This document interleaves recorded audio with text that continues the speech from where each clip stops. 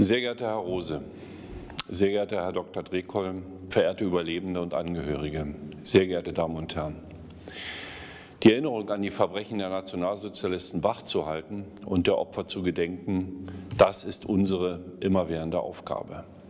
Für Sie, die Überlebenden des Völkermordes an den Sinti und Roma und für Ihre Angehörigen ist das ein überaus schmerzhafter Prozess.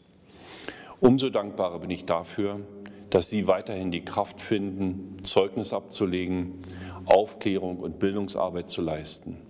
Damit leisten Sie einen wertvollen Beitrag zur Bekämpfung des Antiziganismus. Und lassen Sie mich gleich hinzufügen, der Kampf gegen Antiziganismus, der Kampf gegen jegliche Benachteiligung, Diskriminierung, Ausgrenzung von Sinti und Roma ist eine gesamtgesellschaftliche Aufgabe. Viel zu lange Zeit brauchte die Anerkennung und Würdigung der Schicksale der Sinti und Roma in Deutschland. Lange fehlten Anteilnahme und Empathie der Mehrheitsgesellschaft. Mit aller Macht müssen wir uns gegen Vergessen, Verdrängung und Verharmlosung der Verbrechen an den Sinti und Roma stemmen.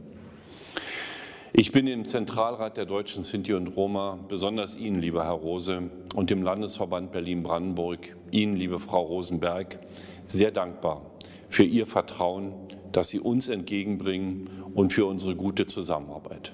Gedenken, erinnern, aufklären und sich zur Wehr setzen gegen jede Form von Rassismus und Rechtsextremismus sind existenziell für uns alle.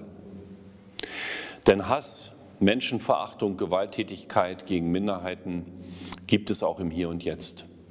Rechtes Gedankengut wird in der Öffentlichkeit und selbst in Parlamenten geäußert.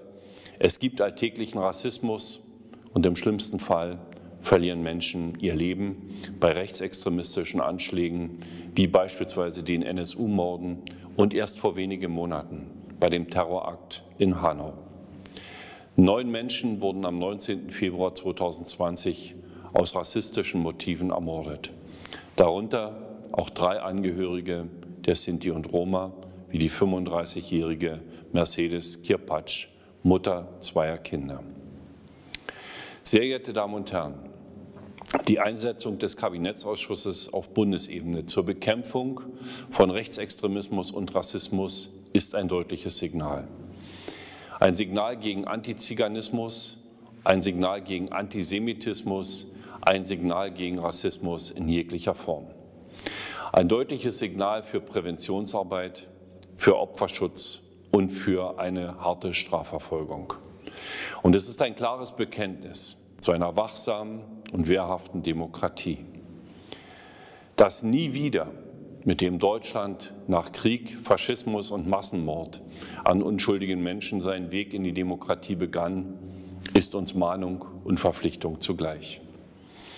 Für das, was jetzt und zukünftig geschieht, bei uns, in Europa und sogar weltweit, dafür sind wir verantwortlich. Jede und jeder einzelne von uns und wir alle gemeinsam. Die demokratisch Gesinnte, die friedliebende, die solidarische Mehrheit der Menschen in unserem Land. Ich danke Ihnen.